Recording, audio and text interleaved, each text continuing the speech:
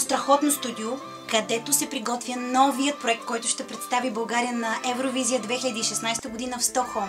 Стискайте ни палци. Аз и целият ми екип работим много усилено, за да можем да се представим по най-добрият начин.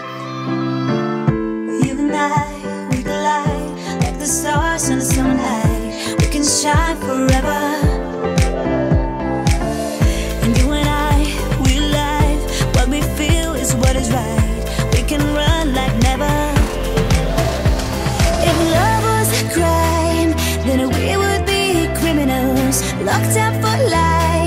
but I